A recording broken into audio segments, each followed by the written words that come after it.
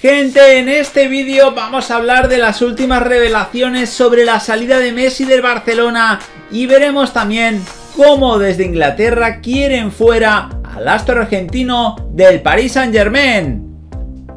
¡Vamos a ello!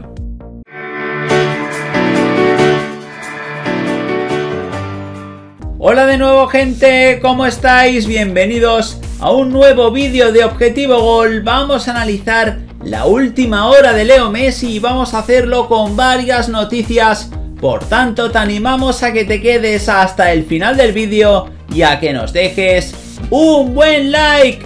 Vamos sin más dilación a analizar la primera noticia y vamos a hablar de todos los detalles que ha contado Mauricio Pochettino sobre el fichaje de Messi por el Paris Saint Germain.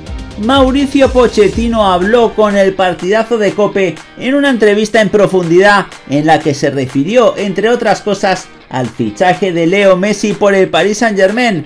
El técnico contó todos los detalles sobre cómo se gestó la llegada de su compatriota al Parque de los Príncipes. El míster insistió en que todo se cerró en cuestión de días y que el Paris Saint Germain no negoció con el ya ex 10 azulgrana antes de que se insinuara su marcha del Fútbol Club Barcelona. Lo dijo así, fue muy rápido. Por eso digo que hay que recalcar el trabajo de Leonardo, del presidente, que en dos días fueron capaces de gestionar el fichaje del mejor jugador del mundo. Todo el mundo estaba pendiente de si seguía en el Barça, aunque todo el mundo yo creo había asumido que se iba a quedar.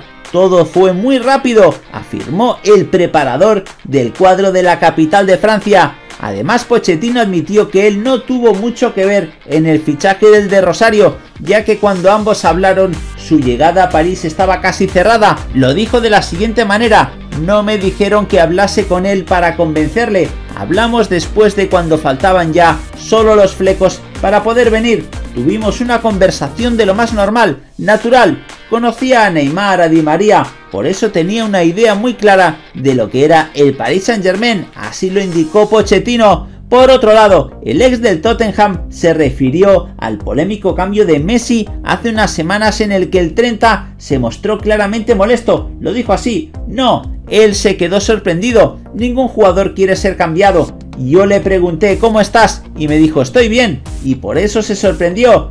Yo ya lo expliqué, por lo que sabíamos, por las informaciones, queríamos protegerlo de una posible lesión. No hubo ninguna intención de nada, solo queríamos protegerlo porque decíamos, tenemos a Messi aquí, es su primer partido, no vaya a pasar algo, destacó Pochettino, que por otro lado habló del futuro de Mbappé. También tuvo espacio en la entrevista del entrenador que se mojó sobre su futuro y dijo a los jugadores no se les puede subestimar, tienen entornos y gente que aconseja y luego tienen su propia decisión tomará la decisión que tenga que tomar y el club hará todo lo posible para mantener a Kylian porque hablamos de uno de los mejores jugadores del mundo con gran potencial y con 22 años. El club intentará convencerlo y seducirlo para que esté aquí. Yo como entrenador me encantaría que estuviera aquí muchos años. Así lo señaló Pochettino que por último, en referencia al delantero francés, dejó claro que la presión sobre su renovación o su posible marcha no le afectará en el campo. Lo dijo así Pochettino, eso lo veremos con el tiempo, yo no tengo dudas, las verdades no son absolutas. Con mi experiencia con él, me parece que tiene una madurez muy alta como para gestionar este tipo de situaciones. No se puede prever lo que pueda pasar, pero puede afrontar cualquier desafío que se le presente. Por tanto, estos son todos los detalles que ha contado Pochettino y es que no acaba aquí la cosa, porque por otro lado, Kun Agüero también ha hablado de la salida del argentino del Barcelona. Sergio Agüero no tiene problemas en reconocer que una de las expectativas con las que llegó al Barcelona era poder jugar con Leo Messi, con el que comparte una gran amistad. Por eso cuando se enteró de que el Rosarino se iba, no dudó en ir a visitarlo para ver cómo estaba. Lo explicó de la siguiente manera, fue un momento de shock, él estaba muy mal. Cuando me enteré, no lo podía creer, comentó el Kun en unas declaraciones concedidas al diario El País y añadió lo siguiente, ese sábado lo fui a ver a su casa y por mi personalidad, como no le veía bien, intentaba hacer que se olvidara de lo que había pasado. Veía que estaba medio apagado y lo intentaba distraer, le contaba de mi equipo de sports y las cosas que estábamos haciendo.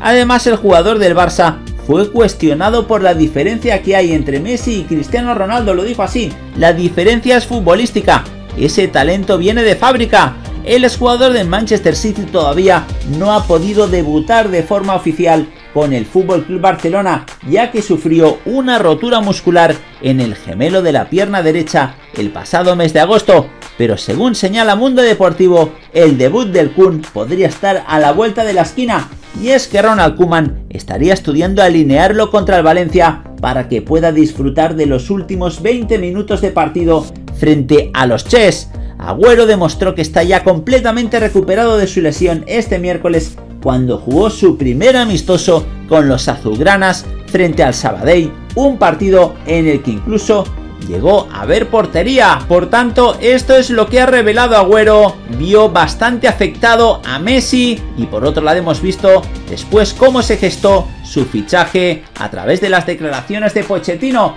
Vamos a hablar ahora del futuro de Leo Messi y es que algunos lo quieren ver en la Premier League. El Newcastle United se ha convertido en el nuevo rico de Europa. La semana pasada se consumó la venta del club a un fondo inversor de Arabia Saudí.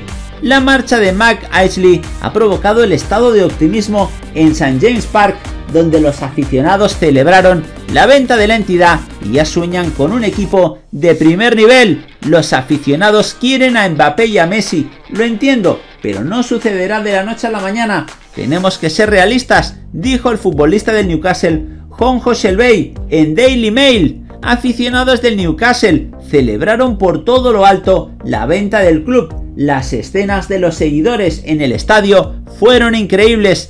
Iban a dar un paseo en coche. Quería salir a tomar una cerveza con ellos, confesó. Esa reacción en el estadio fue única. Los aficionados han sufrido mucho en el pasado, así que creo que lo que vimos fue una liberación de frustración y alivio de que el trato finalmente se haya concretado. Así lo afirmó Shelby. Por tanto, euforia en el Newcastle por la venta del equipo a un fondo saudí. Nos gustaría saber vuestra opinión al respecto. ¿Pensáis que Messi podría salir del Paris Saint Germain para irse al Newcastle? Desde aquí, desde Objetivo Gol, pensamos que eso a día de hoy es impensable, pero nos gustaría saber vuestra opinión al respecto de cualquiera de estas noticias y que por favor nos la dejéis en los comentarios justo debajo de este vídeo. Nada más por el momento, como siempre animaros a que os suscribáis al canal para seguir viendo todos nuestros vídeos. Y aquí os dejamos este vídeo más que interesante para que sigáis disfrutando de todas las noticias del fútbol. ¡Hasta la próxima!